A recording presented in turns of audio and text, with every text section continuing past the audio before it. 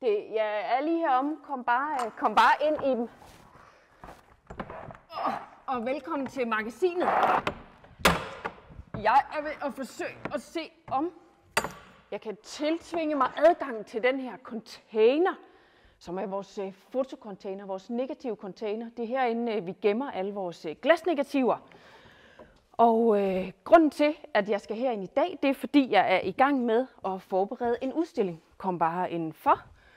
Nu her øh, til november skal vi åbne en udstilling øh, inde på Møntergården, som handler om øh, de første kvindelige fotografer. Øh, det er en vandreudstilling, som kommer til os over fra øh, Museum Østjylland over i Randers. Og øh, der er 10 kvindelige fotografer med skønne billeder, men der er ikke nogen Odense-fotograf. Og nu er vi jo sådan lidt lokalpatriotiske, så vi tænkte, at vi skal have en kvinde med fra Odense også. Og vi kiggede lidt i vores samling, øhm, og vi kunne konstatere, at vi har nogle billeder fra en kvindelig fotograf, der hedder Andrea Gomar. Øh, og hun fotograferede jo, som det var meget populært, øh, en masse af sådan nogle fine visitkortfotografier her. Hendes atelier lå oppe på Fisketorvet. Øhm, og hun virkede fra øh, 1900 til 1916. Hun var ikke den første kvindelige fotograf i Odense, men, men hun var en af dem, der virkede øh, i en del år, og hendes atelier var faktisk et af øh, byens største og mest brugte. Øh, men til gengæld, så, så er hun blevet sådan lidt glemt. Så jeg må jo faktisk tilstå, da jeg startede her på stedet, så havde jeg godt set det der A. Gomar, men jeg havde troet, at det var en Andrea Gomar, en, en mandlig Andrea Gomar, måske en italiener, et eller andet. Det var jo så en kvinde. Det siger jo noget om, hvad det er for nogle idéer, vi har om de her første øh, fotografer. Og udstillingen i, i Randers viser jo faktisk også, at mange af dem har været glemt, eller man har troet, at det var deres mand, der tog billederne. Øhm, og vi har de her, men vi vil jo også gerne have fat i glasnegativerne. Gamle, flotte glasnegativer. Og Andreas atelier, det blev overtaget af en fotograf, der hed Karl Brandt. Og vi har faktisk en masse negativer fra Karl Brandt. De står herovre på hylden. Øhm, men, men vi har ikke rigtig vidst, om vi havde nogen negativer. Der er nogle enkelte, hvor Karl Brandt havde skrevet, at det var Andrea Gomars plader. Øh, men vi har ikke vidst, hvor mange vi havde. Vi var lidt bange for, at de var gået tabt, og det måske også var derfor, at hun ligesom var endt med at, at gå lidt i glemmebogen.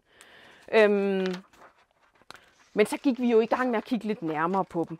Og det viser sig jo, at, øh, at der i den her samling ikke kun er negativer fra, øh, fra Karl Brandt, men også fra hans forgængere. Øh, indtil sådan flere generationer af atelieret har været aktivt fra midt i, midt i 1800-tallet.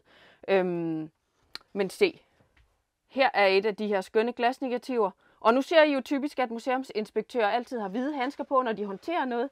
Det har jeg altså ikke med dem her, øh, fordi jeg er simpelthen bange for at tabe dem. Og nu ved jeg ikke, om du kan komme til at se noget her. Ellers så prøver vi lige herover i lyset.